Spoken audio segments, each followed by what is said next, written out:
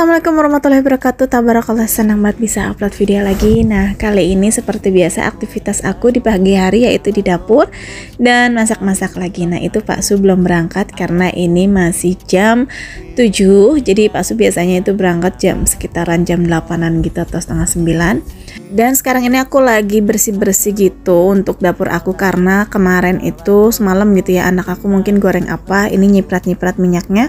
Sekalian itu juga tadi aku ngeberesin beresin uh, cucian piring yang aku cuci dan seperti biasa itu sinknya kan nggak turun gitu ke wastafelnya jadi aku harus lap-lap dulu.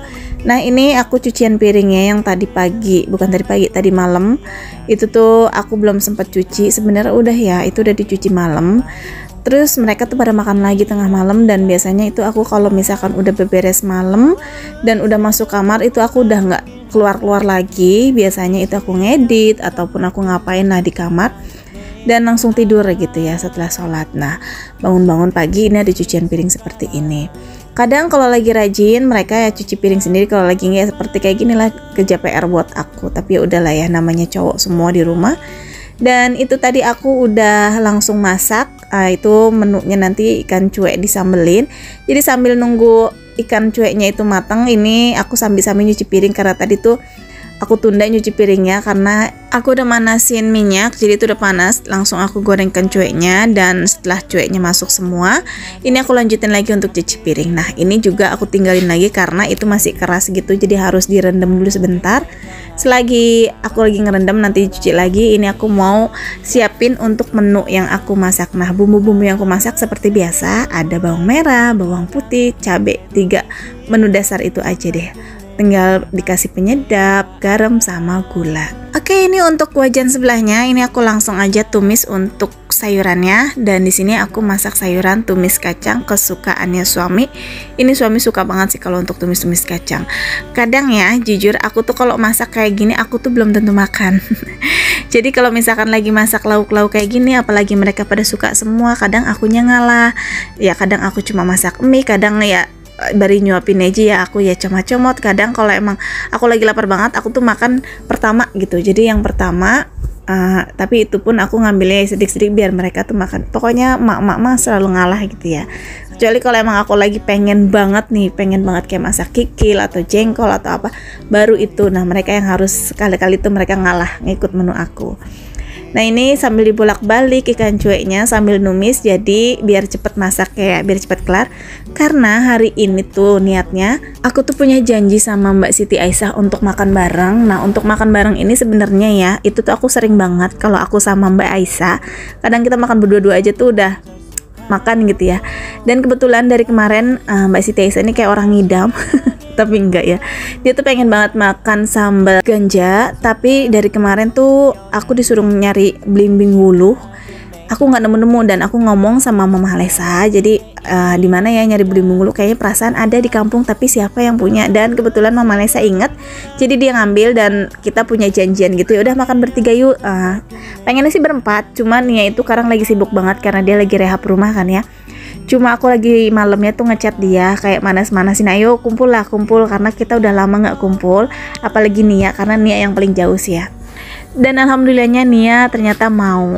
Oh ya ini masakannya udah kelar alhamdulillah. Jadi selepas ini aku langsung cus untuk ke rumah Mbak Siti Aisyah. Dan aku kaget banget dikabarin sama Mbak Siti Aisyah ternyata rumah Aura itu datang ke Bekasi jauh-jauh dari Jawa emang lagi dia main gitu ya Cuma ini dia pengen banget sempetin mampir ke rumah Mbak Siti Aisyah. Sebenarnya untuk janjian sama rumah Aura ini udah berbulan-bulan yang lalu, cuma belum sempet-sempet. Tapi alhamdulillah ini karena dadakan banget acaranya jadi jadi semua.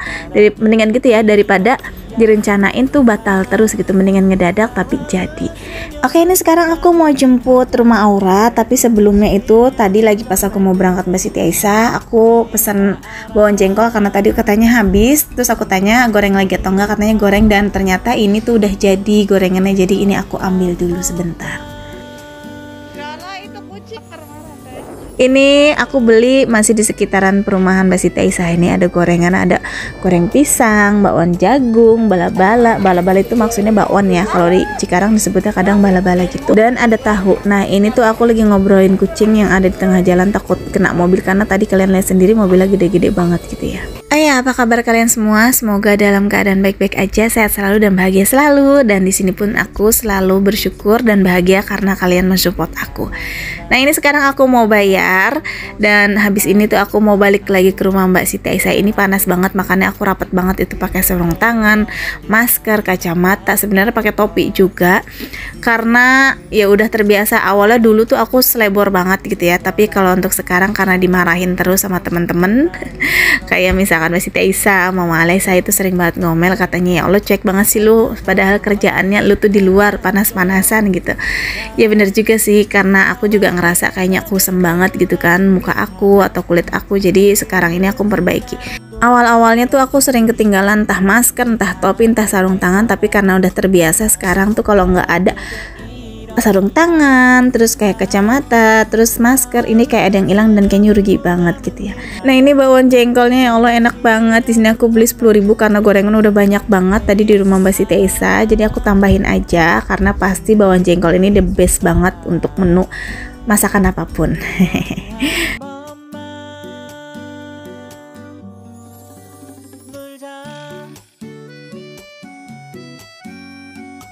Alhamdulillah tuh aku udah sampai sekarang sama rumah Aura. Senang banget. Terakhir aku ketemu tuh waktu lagi di video pas aku sama Mbak Siti Isa juga. Jadi ketemu sama rumah Aura kita ketemunya di IKEA ya. Jadi yang belum nonton dulu tuh coba cari aja. Aku jalan-jalan ke IKEA tuh bareng Mbak Siti Isa sama rumah Aura. Itu udah berapa bulan yang lalu ya. Pokoknya udah lama dan ini akhirnya ketemu lagi. Terus ini aku keluar dulu tadi sebentar beli sesuatu dan sekarang aku balik lagi kirain aku tuh nih udah datang karena gerbangnya terbuka tapi ternyata tuh belum datang. Dan ini ada gemoy dia tuh penunggu pintu. Dan ini rumah Aura lagi siap-siap. Kita tuh udah pada kelaparan sebenarnya cuma nunggu satu lagi personil yaitu Nia. Ya aku nggak bawa apa-apa mbak. Mau beli buku tuh gara-gara kepengen ke sini tuh rempong. orang pada makan bakso aci nyebelin banget ya iya kita aja yang ini yang ulek Oga, nggak bisa Aduh, tuh teh, nggak dulu Atuh. Ngomong. Nggak dulu. Asunya garam dulu, atuh oh, ini. Ngomong aku Mecin mana Mecin? Jadi ini proses bikin sambal ganja Apa dulu yang dimasukin? Eh, sambal ganja, jambal janda Nggak usah ngomong, berarti kita di aja ya.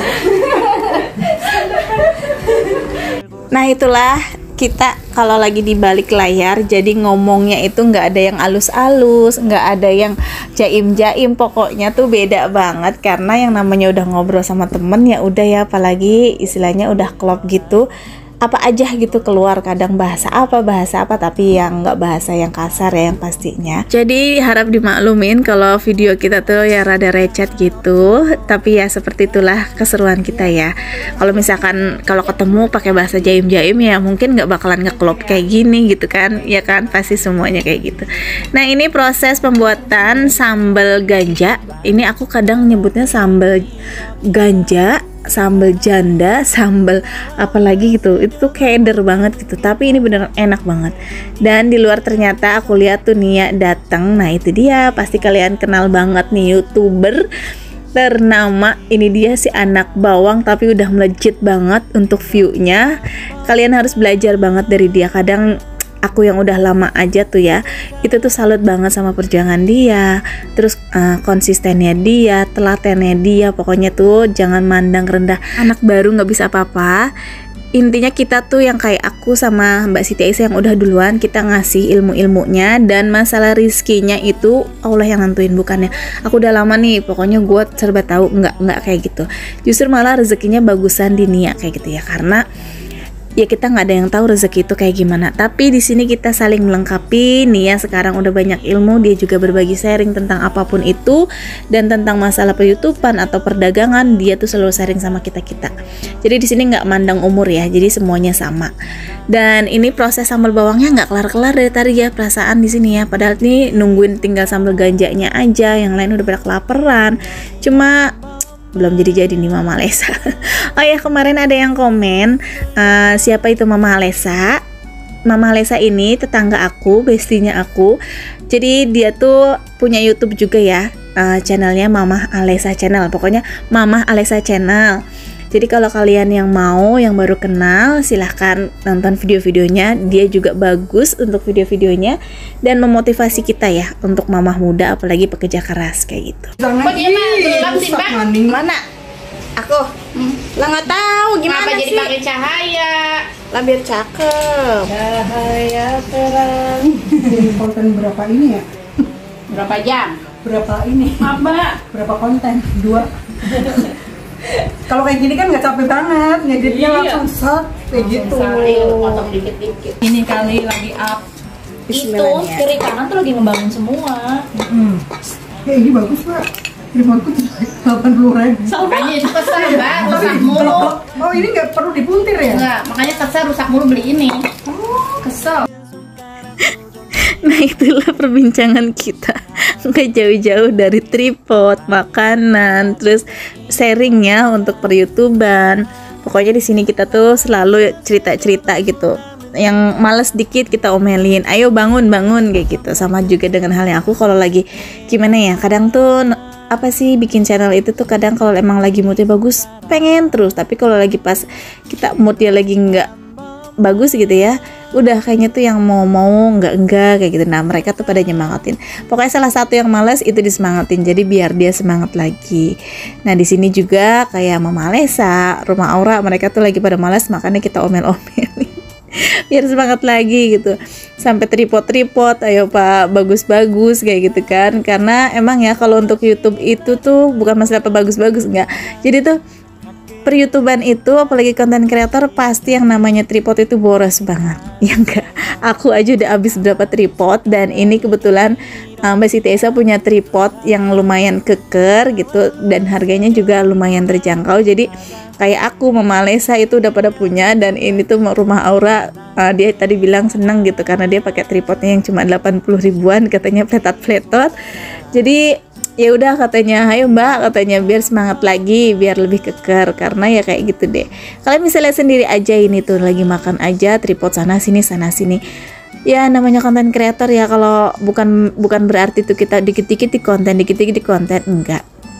Tapi yang namanya kreator juga iya sih emang harus juga kan karena emang ya sayang aja dibuang kan kalau pertemuan kayak gini kan gitu kan buat kenang-kenangan juga di satu sisi itu dan di satu sisi juga ya udahlah ya toh juga kita kerja emang di YouTube gitu di pervideoan kenapa enggak kalau emang lagi masih dalam hal positif kayak gitu.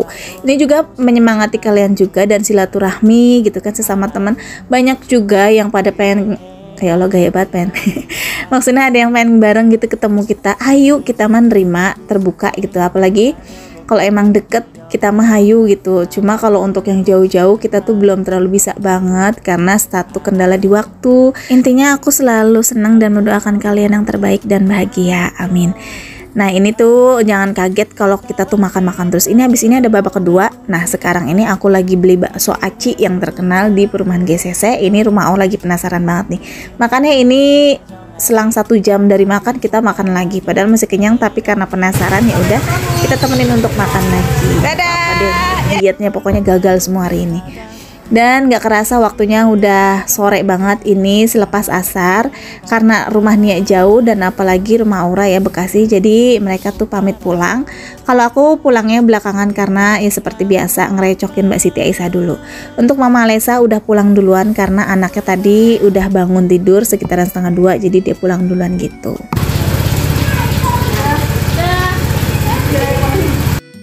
Ya udah pulang semua deh. Pokoknya seru banget kalau udah kumpul nggak berasa waktunya.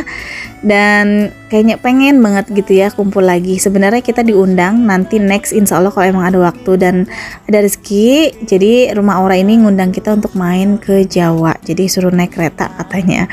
Ya mudah-mudahan ada waktu dan ada rezekinya ya bisa main ke sana Nah terus ini seperti biasa masakan sebanyak itu makannya kan cuma cuma cuma cuma cuma gitu doang kan.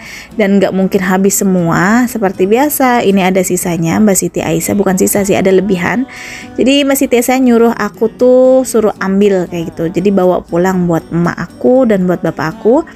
Juga buat aku juga sih sayang. Ini mubazir kan. Jadi yang makan paling nanti kata Mbak Siti Aisyah ya cuma dia aja gitu. Anaknya paling makan sedikit. Untuk adiknya juga ya makanan nggak banyak juga atau dia punya stokan kayak frozen food gitu. Jadi kata dia daripada ini nanti nggak ada yang makan lebih baik aku yang bawa kata dia. Karena kan ada emak sama bapak. Jadi ini aku bungkus-bungkus aja deh. Dibagi dua dibagi dua gitu tuh rezeki itu nggak ke mana ya kan pokoknya rezeki itu bukan uh, berupa uang aja ya entah itu dari makanan teman-teman yang baik teman yang ngerti teman yang support termasuk kalian juga. Jadi aku tuh selalu bersyukur banget didekati sama orang-orang yang baik. Amin. Nah ini sepulang dari rumah Mbak Siti Aisyah ini aku mampir ke rumah Ani karena ada pesanan makanan kucing jadi nanti aku bakalan anterin dan itu penjaganya tuh itu tuh CEO nya makanan kucing embul suaminya Bella ya Nah, di sini Ani lagi repot banget karena dia kan punya bayi. Jadi di sini aku mau gendong anaknya dulu. Itu anaknya Ani tuh yang paling besar. Jadi nanti aku mau gendong-gendong sebentar karena Aniknya juga lagi nilapin pakaian dan aku ajak ngobrol gitu karena Ani tuh mungkin uh, kayak jenuh gitu ya namanya punya anak bayi banyak gitu kan terus nggak ke mana-mana terus ngurusin dagangan doang. Jadi kalau misalkan ada aku ataupun teman-teman yang lain lagi mampir ya udah diajakin ngobrol biar nggak terlalu suntuk banget gitu. Oke deh segitu dulu aja videonya. Semoga kalian suka ngikutin video-video aku dan terima kasih yang udah nonton dari awal sampai akhir. Sampai jumpa di video berikutnya. Assalamualaikum